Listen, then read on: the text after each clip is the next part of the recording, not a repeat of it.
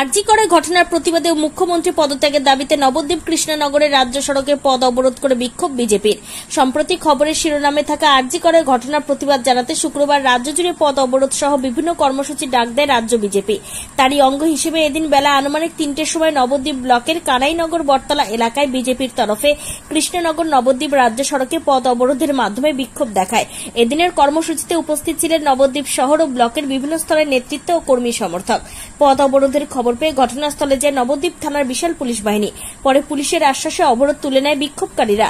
দীর্ঘ প্রায় তিরিশ মিনিট যান চলাচল সম্পূর্ণ বন্ধ হয়ে যায় বলে অবরোধের জের। দীর্ঘ প্রায় তিরিশ মিনিট যান চলাচল সম্পূর্ণ স্তব্ধ হয়ে পড়ে পথ অবরোধের জেরে। পরে অবরোধ উঠলে যান চলাচল স্বাভাবিক হয়।